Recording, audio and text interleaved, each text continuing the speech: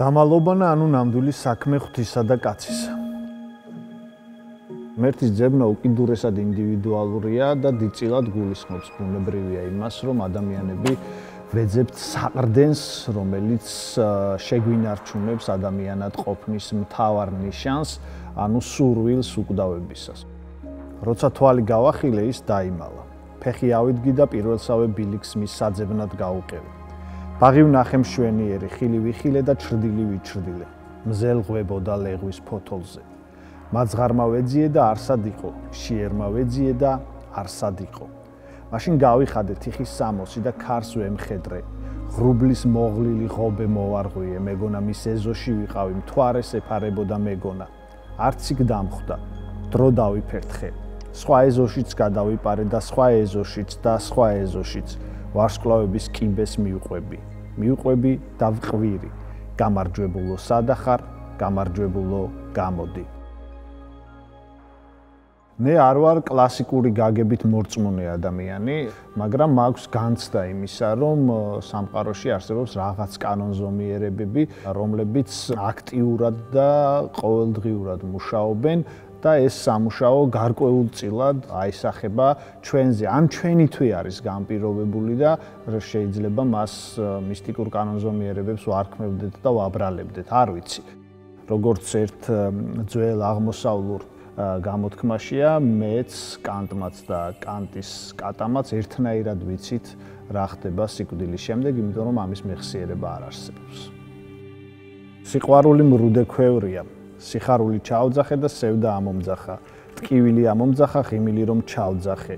რომ შემეძლოს ტკივილს ჩაოძახებდი სევდასაც, მაგრამ სიყვარული ქვია ამროდე ქვევრს.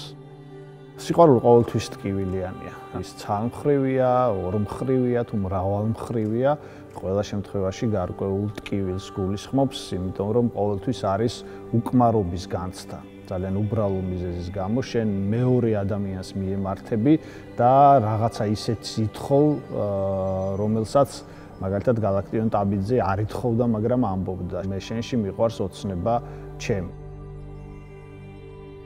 ადამიანის მთავარი კითხვაც და მთავარი ამოცანაც რეალურად კანტის ძალიან ცნობილი გამონათქვამია რომ ორი რამ მაკვირვებს სამყაროში ყველაზე მეტად მორალური კანონი ჩემში და ვარსკვლავებით მოჭედილიცა ჩემს ზემოთ.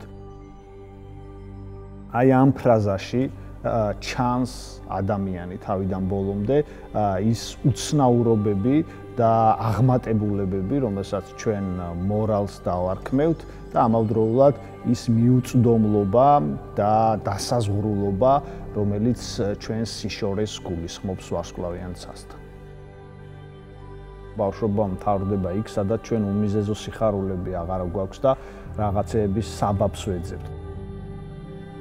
ბავშვობა ძალიან საინტერესო დრო, იმიტომ რომ რეალურად ჩვენ აქ ოცნებების ამპლიტუდა გვაქვს შეუზღუდავი და შეიძლება ოცნებობდეთ საღეჭრეზინზე და შეიძლება ოცნებობდეთ კოსმოსში გაფრენაზეც.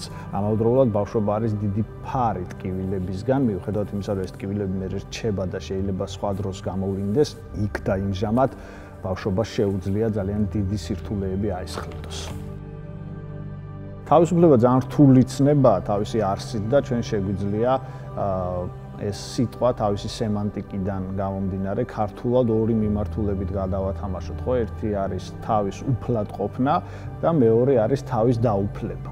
ანუ თუ კი თქვათ აი ამ ორივე მოდელს ერთ სივრცეში მოვაქცევთ, ჩვენ მივიღებთ ძალიან საინტერესო ადამიანს, რომელიც საკუთარ თავში მაქსიმალურ უსაზღვროებას გულისხმობს და მეორე მხრივ ითვალისწინებს მეორე ადამიანს, ან რომ ეუფლება საკუთარ თავს და აკეთებს იმას, რაც რუსთაველმა გვიკარნახა, რაც არ აგწადეს, იგი ქმენ უძდევ წადილთანებას.